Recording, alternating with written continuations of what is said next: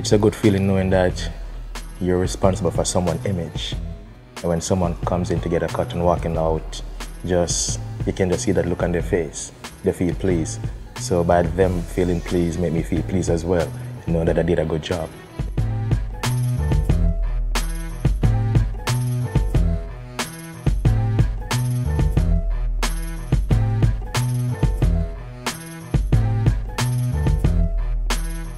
It feels good to be a public servant, knowing that you're doing something, whereas you have people coming in and out, walking out back with a smile. So that just that alone just made me feel proud to be a barber.